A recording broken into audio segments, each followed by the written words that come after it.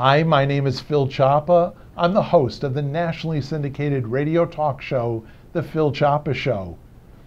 Who can buy insurance on your life?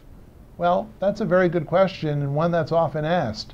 The person who can buy insurance on you has to have what we call a vested interest in you. So it could be a parent, it can be a child, it can be a spouse, it can be a relative.